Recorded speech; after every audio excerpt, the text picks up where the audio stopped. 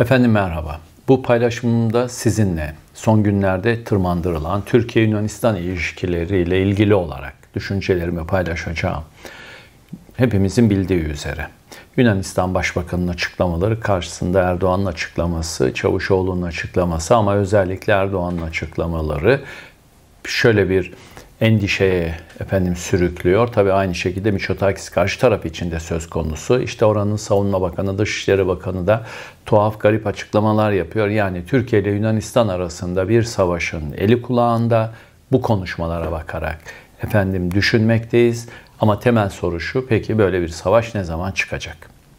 Şimdi bakalım efendim böyle bir savaş çıkar mı, çıkmaz mı, bunun olasılıkları nedir?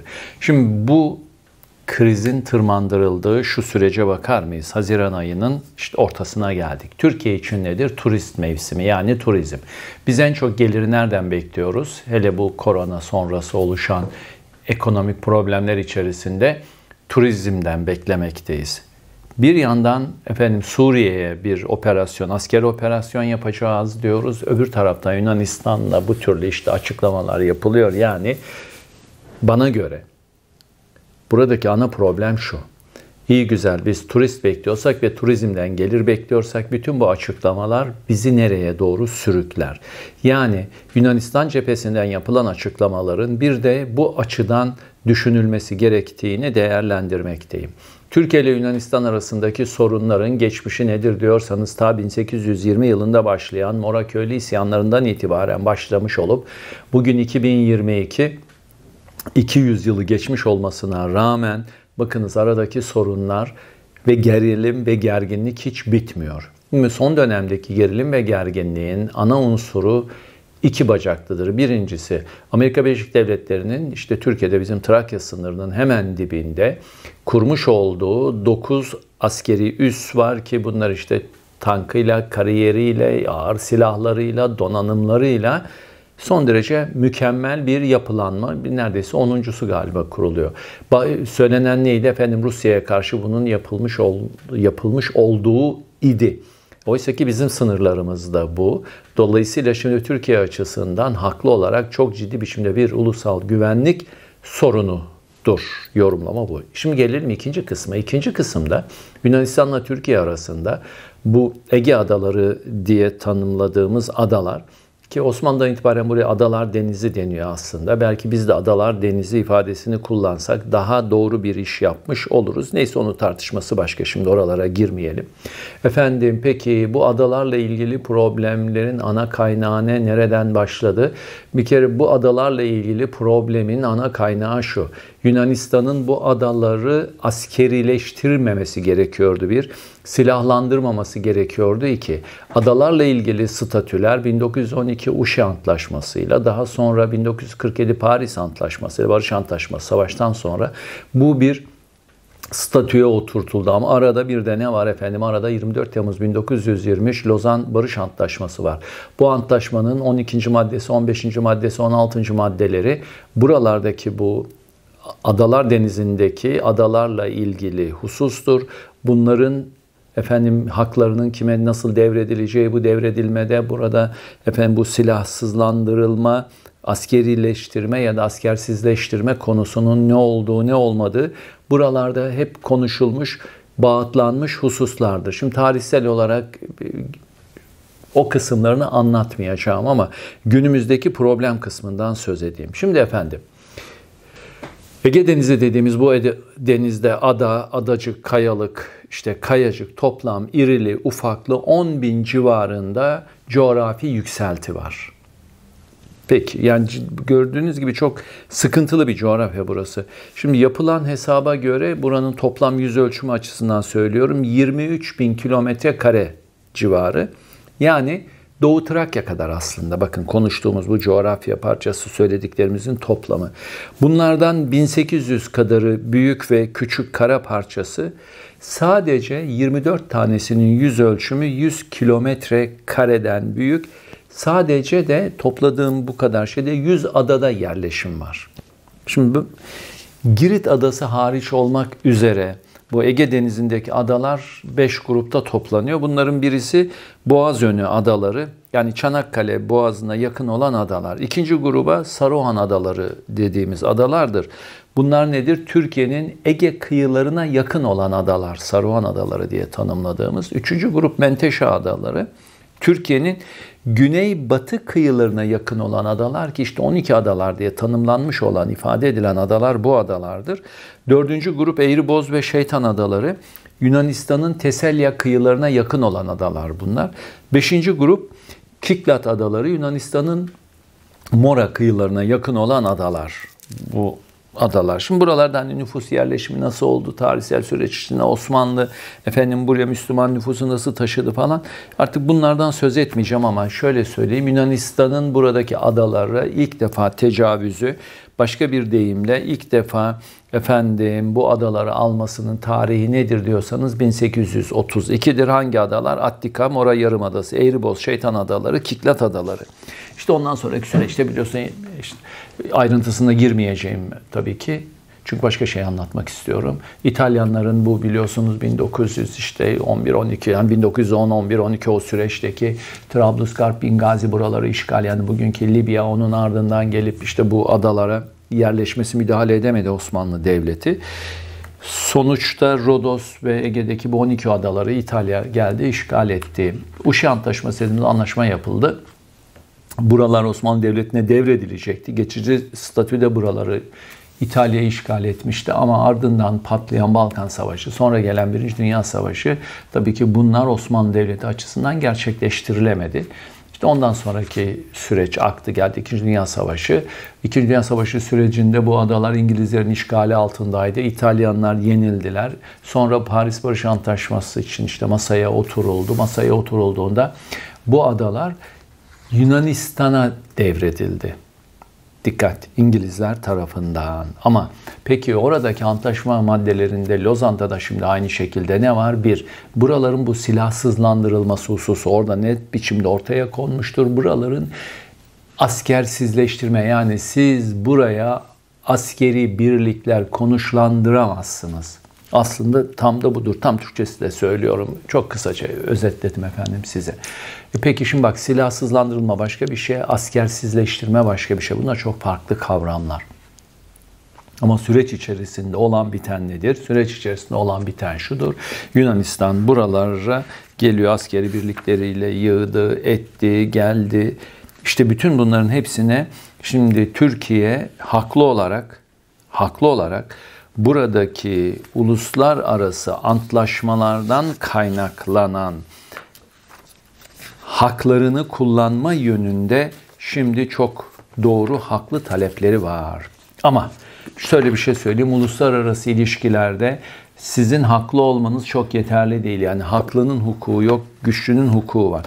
Şimdi efendim bu konularda Türkiye'de çok çalışmalar yapılmıştır. Mesela Sevin Toliner Hoca'nın meraklılar için söylüyorum yapıt kitapları, verdiği konferanslar bunlar iki cilt hatta üç cilt olarak yayınlandı. Bunu her yerde bulabilirsiniz. Ne bileyim Ege sorunlarını merak ediyorsanız Sertaç Hami Başarenki çok çalışmış bir akademisyendir bu konular üzerine. Hatta şuradan sizde bir şey paylaşacağım. Buradaki bu adalarla ilgili bak 10 Şubat 1947'de Paris'te imzalanan madde 14.2'de bu adaların gayri askeri hale getirileceğini ve öyle kalacağını öngören İtalyan Barış Antlaşması ile onlardan alınarak Yunanistan'a verilen adalar. Bak bir daha söylüyorum. Adalar gayri askeri hale getirilecek. Yani askerden arındırma. Efendim askerden arındırılmış terimleri falan. Bütün bunların hepsi kullanılan terimler. Buraya baktığınız zaman uluslararası hukuk ve anlaşmalarla ilgili olarak evet Türkiye haklı. Ama hiç, diplomasi de tabii Türkiye ne hikmetse her zaman söyleriz masada kaybediyor diye. E, şimdi yapılacak çok iş var. Neyse can sıkıcı şekilde onları anlatmayayım. Mesela Meis Adası'nın durumu var. Niye? Meis Adası biliyorsunuz Kaş sahilinden ancak ne kadar 5 mil mesafede. Şimdi efendim Lozan'daki barış antlaşmasında ne demişiz? 3 mil kuralı koymuşuz. Bakın 3 mil kuralı. Daha sonra Yunanistan işte 6 mile çıkarılacağını son kertede 12 mile çıkaracağı falan açıklamaları yaptı. Biz dedik ki 6 mile çıkartırsanız bu savaş sebebidir. Ha dikkat edin şimdi Türkiye ile Yunanistan arasında ne zaman savaş çıkar? Diyorsanız İşte bu eğer Yunanistan ben bunu 6 mile çıkardım bunu ihlal edeceğim. Efendim yok ben kafama göre bunu 12 mile çıkardım diyorsa ve buna teşebbüs ederse evet Türkiye bunu daha önce belirtmiş oldu. İşte kasus belli dediğimiz savaş ilan sebebidir ve bu bir meşru meşruiyet taşımaktadır. İşte o zaman savaş olur. Peki şimdi Meis ve Kaş'a baktığımızda bak Meis ve Kaş'a baktığımızda neyi görüyoruz? Kaş oradan bir top atım mesafesinde. Ha diyeceksiniz ki efendim işte Meis'ten böyle bir şey olur mu olmaz mı? Ya olur olmaz meselesi ayrı bir husus ama bunların hepsinin göz önünde bulundurulması şarttır. Başka bir şey söyleyeyim size. Mesela bu karda kayalıkları ile ilgili çok ciddi sıkıntılar yaşanmıştı. İşte bakın efendim Ege'de statüsü belli olmayan kaya kayalık ada adacıklar var. Bunlar çok ciddi problemler. Bunlarla ilgili haritalar elimizde var mı yok mu? Çok Sıkıntılı bir iş o. Ben ta deniz kuvvetlerinde efendim görev yaptığım dönemde de bu işler çok tartışılıyor idi. İşte zaten kitapların basım tarihine bakarsanız görürsünüz. Ne yazık ki orada da öyle haritalar elimizde var mıydı diyorsanız yoktu. Sonraları işte üzerinde çalışıldı. En basit olaylardan birisi şu karda kayaların statüsü meselesidir. Bu Sertaç Başaren'le yüksek Yüksel inan bu akademisyenlerin çalışması bunun yayım yılı 1997'dir. Çünkü niçin? Buralarda işte geldi Yunanlar bayrak dikti. İşte Türk şeyler hmm, satlar saslar efendim geldi buraya bunlar da bu kayalıklara adı çıktılar bu karda kayalıklarına onu indirdiler. Türk bayrağı çektiler. Türkiye ile Yunanistan işte savaşın eşiğine geldiği ifade edildi ama son anda son dakikada Türkiye daha bir serin kanlı davrandı. Peki efendim. Bu antlaşmanın yukarıdan hani söyledik ya Paris Antlaşması'nın işte 14. maddesi efendim burada askersizleştirilecek bunları yapamazsınız. Bunları yapamazsınız. Şimdi Lozan'da 3 mil, bakın Lozan'daki 3 mil kararı Türkiye'nin sonuna kadar savunacağı, savunması gereken bir karardır. Diyeceksiniz ki Yunanistan'ın bu 6 mil meselesinde ta 1936 yılında tek taraflı olarak onlar 6 mile çıkardıklarını ifade etmişlerdi ve o gün Türkiye ile Yunanistan arasındaki ilişkiler çok sıcak ilişkilerdi ve zaten savaştan çıkmış olan bir Türkiye kalkınmaya çalışıyor. Bir sürü problemleri var. Ayrıca İkinci Dünya Savaşı'nın artık buradaki ilk adımları belli olmaya başlamış işte böyle bir dönemde Türkiye buna biraz o dönemde göz yumdu. Bakın o göne, o dönemde göz yumdu. Sonra 1952 yılında bu Güney Ege'deki Leros Adası'na askeri amaçlarla kullanılabilecek bir havalimanı inşa etti. Yunanistan tesisler inşa etmeye başladı. Bunların sivil amaçlara yönelik olduğunu söylüyorlardı. Peki Türkiye ne yaptı buna karşılık derseniz Ege bölgesindeki asker sayısını, askeri birliklerin sayılarını arttırdı. O da Yunanistan'a karşı bir gözdağı verdi. Yani burada adımlarını dikkatli at. Burada bir savaş yapmaktan çekinmeyiz dedi. Çünkü 1952'ye gelmiş 1952 yılına gelmiş olan Türkiye bir savaş gücüne artık ulaşmış idi. Cumhuriyetin başındaki gibi durumu sıkıntılı değildi. He, dolayısıyla şimdi bu yapılabiliyor. Sonra işte Türkiye'nin bu 1963-64 Kıbrıs olayları başladı biliyorsunuz o kanlı Noel 1964'te peki bütün bu bahanelerle dikkat ediniz Yunanistan Kıbrıs sorunu nedeniyle Anadolu kıyılarına yakın olan adalara asker ve silah konuşlandırmaya başladı. O zaman da itirazlar oldu. Sonra biz bu efendim karasularını 12 mile çıkaracağını duyurdu. Ne zaman? 20 Temmuz 1974 Kıbrıs Barış Harekatı'ndan sonra. Heh, işte Türkiye o zaman söyledi ben bunu savaş nedeni sayarım. Bugün Ege ordusu var ya efendim. Ege ordusu 1975 yılında kuruldu. Niçin işte Yunanistan'ın bu tehditlerine efendim böyle bir girişimde bulunursa hemen buna karşılık vermek için ve Ege ordusu nedir? Ege ordusu NATO'ya dahil bir ordu değildir. Yani NATO tarafından kontrol edilebilen efendim onun envanterinde görünen bir ordu değil. Hatta bu 15 Nisan 1976'dan da Türkiye bu Yunanistan'ın kara sula kara sularını öyle söyleyeyim 12 mil girişimini diplomasi de demin söyledim ya kasus belli diye ifade edilen savaş sebebi sayacağını ifade etti. O dönemde Dışişleri Bakanı İhsan Sabri Çağlayangil'di. Çağlayangil müthiş bir mektup yazdı. İnternete girip ne olur bakınız mektuba. O çok ciddi biçimde Yunanistan'a bir tehdit amaçlıdır. Türkiye sonra Ege Denizi'nde petrol arama e, e, arama arayacağını ifade ederek Hora adlı bir sismik gemiyi araştırma gemisini çıkardı. Yunanlar buna mukabele etmeye çalıştılar falan ama tabi orada öyle çatışmalar olmadı. Çok onu oraya kadar tırmandırmadılar. Sonra biz buna MTA1 adını verdik. Adını değiştirdik o geminin. Bakın şimdiye kadar anlattıklarım neyi gösteriyor bize? Şimdiye kadar anlattıklarım bu konudaki büyük efendim tırmanışı, büyük çatışmaları gösteriyor. Şöyle söyleyeyim bakın. Bugün geldiğimiz aşama itibariyle diyeceksiniz ki ya Yunanistan NATO ülkesi, Türkiye NATO ülkesi nasıl oluyor da bu iki ülke arasında bu türlü bir gerilim, gerginlik oluyor. Sebebini söyleyeyim efendim. Çünkü Yunanistan'ın arkasında ABD var. Bakın Türkiye ve Yunanistan bugün Ukrayna'da olan bitenden ders almak zorundadır. Dikkatinizi çekerim. Bakın ABD bugünkü Ukrayna'yı ateşin içine attı. Kukla Zelenski kukla olduğu için zaten problemi çözemedi baştan. Daha doğrusu çözmüş olsa bile çözdürme şansı yok. Efendim. Peki bu iki devlet ne zaman savaşır? Ne zaman savaşacak? Takvime bakıp hemen bir şey söyleyebilir miyiz diyorsanız efendim hayır. Ama tekrar söylüyorum eğer Yunanistan bu ben efendim karasularımı 12 mile çıkardım. Efendim ben bir falan söylemişiz. Demiş ki bak 6 mile bile çıkarır ve ihlal edersen bu savaş nedenidir. Dolayısıyla işte ne zaman çıkacak? Peki soru şu. Aa, ABD niye bunu yaptırıyor? Efendim Mitsotakis ABD'de Senato'da gitti biliyorsunuz konuşma yaptı. Ayaklarda alkışlandı defalarca defalarca defalarca. Ana sebebi söyleyeyim. Ana sebebi S-400'ler meselesi nedeniyle efendim bunu kötü kullanıyor Yunanistan. Türkiye'nin biliyorsun çok büyük sıkıntısı var. E diyeceksiniz ki kullanmıyoruz ki S-400'ler biz çektik ambarda, hangarda işte kepenkleri de kapattık orada duruyor. Bunların hepsi tabii ki bahane edilecek. Sonra biliyorsunuz bu F-16'lar meselesi var. Verilmesin deniyor. Orada açıkça söyledi. Yani uzun sözün kısası.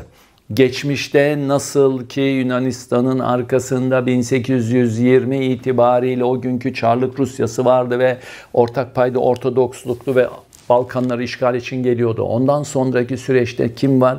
İngiltere var yine Yunanistan'ın arkasında işte Anadolu'ya Yunanistan'ın çıkış sebebi ne o zaman? Ta 1919'un 15 Mayıs'ı. Peki bugün aynı Yunanistan'ın arkasında ne var? Bugünkü aynı Yunanistan'ın arkasında ABD var. Şimdi buradaki temel çelişkili soru şu. Ya bunun üçü de peki NATO ülkesi bu nasıl oluyor sorusu. Ha, nasıl oluyor sorusu çok açık, çok net. Bize şunu gösteriyor efendim. Uluslararası ilişkilerde dikkat ediniz. Öyle dostluk, arkadaşlık, kardeşlik falan yok. Uluslararası ilişkilerde mesele şudur. Sizin haklı olmanız da çok yani haklı olmanız da sizin için çok yeterli değil. Yeterlilik meselesi güçlü olmaktan kaynaklanıyor. Sizin dış politikada güçlü olabilmeniz için iç cepheyi sağlam güçlü tutmanız lazım. Bu büyük Atatürk'ün ünlü ifadesidir, ünlü değerlendirmesidir. Ve şimdi iç cephe, içeride durum zayıf görüyorsunuz. İşte bu seçim süreci içerisinde muhalif unsurlarla iktidar unsurları arasındaki o büyük çekişmeyi dolayısıyla dışarıdaki ülkelerde bunu görüyor işte başta Yunanistan olmak üzere. Peki şimdi sonuç olarak iki NATO üyesi ülke savaşır mı? Efendim iki NATO üyesi olan ülke savaşmaz, savaşamaz. Ama şimdi burada bir temel çok ciddi bir sorun var. Bu temel çok ciddi sorun şu. Yunanistan gittikçe kışkırtırsa Türkiye'yi ve Türkiye bu kışkırtmaların sonucunda harekatı ilk başlatan ülke olursa şöyle bir şey söyleyeyim. NATO'nun öteki ülkeleri, Avrupa Birliği'nde tam üyesi olmuş olması nedeniyle Avrupa ülkeleri Yunanistan'ın arkasında olacak ve buradaki temel olgu, temel husus şuna dönecek. Türkiye üzerine uygulanacak ağır ambargolara dönecek bu işler. Bakın demek ki buradaki büyük oyunu iyi çözmek gerekiyor büyük oyunu çok iyi çözmek gerekiyor. Daha önce aylarca önce ifade etmiştim bir kere daha söyleyeyim. Türkiye NATO'dan çıkarma. Çıkar bu siyasi bir karardır. Bugün işte Erdoğan der ki çıkalım çıkartınız ama NATO'dan çıkmanız da 15 yıl sürer. Bütün bunların hepsi askeri uzmanlar tarafından da çok iyi bilinen bir husustur. Tekrar şöyle noktalayayım yavaş yavaş toplarken şunu. Ege adalarını silahlandıran Atina, Türk azınlığa da bir taraftan da baskı uyguluyor. Yani işte sorun şurada hem Yunanistan hem Türkiye hem ABD bir daha söylüyorum NATO üyesi ülke Onun peki ne oluyor burada derseniz başka bir husus daha var. Yunanistan silahlanmaya 16 milyar euro para ayırıyor. Nasıl yapacak bunu? Yunanistan'ın ekonomisi de bu kadar kötüyken işte buradaki soruların yanıtlarının çok ama çok doğru ve akılcı şekilde matematik akıl, akılla, hareketle ön nasıl diyeyim siyasal iktidarda karar, karar vericilerin önlerine koyması gerekir. Yoksa buradaki savaş evet savaşabiliriz. Hiç bütün devletler gibi savaşılabilir. Ama aynı anda hem Suriye'de hem Yunanistan'da iki tane cephe açılabilir mi? Şöyle bir bunun yanıtı bence şudur efendim. Şimdi Yunanistan daha doğrusu ABD Türkiye'nin Suriye'ye yapacağı operasyon açıklamasından sonraki süreçte dikkat edin bu işi yükseltti, tırmandırmaya başladı. Ha, demek ki buradaki problemin tırmanması, bu krizin daha doğrusu problem geri alıyorum problem ifadesi yanlış oldu. Terminolojik olarak yanlıştır efendim. Bu krizin sürekli olarak böyle tırmandırılıyor olmuş olması ki dikkat edin bak merdiven şeklinde zaten çıkartıyorlar o krizin tırmandırılmasını. Bu da bir stratejidir. Türkiye şöyle bir şey söylüyor. Suriye'ye sen sürekli açıklama yaptığın, böyle bir operasyona kalkıştığın takdirde bu tarafta çok ciddi biçimde bir yumuşak karın var. Zaten bu adalar askerileştirildi. Buraya işte tümenler taşındı, havaalanları yapılıyor, ağır silahlar, bir sürü şey yerleştirildi. Eh bunun sonunda bazı bazı çatışmalar göze alınmak zorundadır. Yani uzun sözün kısası Türkiye'ye sopa sallanıyor, sopa gösteriliyor. İşte öyle bir dönemde yapılıyor ki bu. Ekonomik olarak Türkiye bu kadar büyük sıkıntıları yaşıyor. İşte bir büyük dar boğazın içinde açmaz değil. Tabii yöntemleri var açılabilir ama yeter ki her zaman söylüyoruz ekonomi biliminin kuralları, koşulları yerine getirilsin. İki, dış politikada işte böyle bir problemler yaşıyorsunuz. Tekrar tekrar altını çiziyorum. Türkiye'nin bu ekonomik içinde bulunduğu bu kriz sürecinde en önemli gelir kaynağı turizm. Evet ama bakın bu türlü girişimler ve bu türlü kriz yükseltmeleri ne olacak? Gelecek olan turisti ya da ülkeler de kararlar alabilir. Türkiye'ye gitmeyin diye. Yani bir taraftan ekonomik açıdan bir sıkıntıya sürüklemek. Evet burada bir boğma. İki, aşağıda Suriye'ye yapmayı tasarlanan operasyonun karşısında yer alınıyor. Tamam. Niye? Çünkü orada YPG, PYD unsurları var ve ABD'nin bu silahlı kuvvetleri kendisi bunu açıklamış diye işte kendileri adına savaşacak diye. E orada ortaya çıkan çok büyük bir rahatsızlık var. Yani senin ulusal güvenlik sorununun olduğu kimsenin bu umrunda değil. İşte biliyorsunuz 30 kilometrelik o derinlikteki alanı Türkiye'de işte Erdoğan'ın açıklamalarıyla ifade ediyorum. Tabii ne kadar gerçekleşir, ne kadar gerçekleşmez, işte ne kadar doğru, ne kadar yanlış o kısmına hiçbir şey söyleyemeyeceğim efendim. İşte burada biz temizlik yaptıktan sonra Türkiye'ye gelmiş olan işte bu kaçkınları biz buraya yeniden yerleştireceğiz ifadesi. Ha, bütün bunların hepsi de istenmiyor olabilir. Çünkü Türkiye'de, Suriye'de, Afganistan'da, Pakistan'da getirilmiş olanlar Türkiye için olağanüstü büyük, büyük ama hem demografik sorun hem güvenlik sorunudur. Şöyle bir şey söyleyeyim, yapılan projeksiyonlara göre 2053 yılında yalnızca Suriye'den gelenlerin sayısı 35 milyonu geçecek. Yapılan projeksiyona göre söylüyorum. Çünkü doğum oranı çok yüksek bildiğim kadarıyla 5.3 doğum oranı. Türkiye'deki Türkiye Cumhuriyeti vatandaşlarının doğum oranı da bilebildiğim kadarıyla 1,7. Birazcık yanılmış olabilirim ama yani son açıklanan rakamları söylüyorum. Ayrıca çok ciddi bir problem var. Afganistan ve Pakistan'dan getirilenler ABD ile nasıl bir anlaşma yaptınız ki böyle bir tuzağa düştünüz? İşte bütün bunların hepsi Türkiye'nin yumuşak karnı, çok büyük hassasiyetleri. İşte bu büyük hassasiyetler içindeyken bir tarafta Suriye operasyonu evet o çok farklı tamamen meşruiyet zemini içerisinde yapılacak, yapılması tasarlanıyor. Ama bu taraftaki tehdidin sonucu şimdi düşünebiliyor musunuz? Bunun adına biz kurt kapanı diyoruz efendim.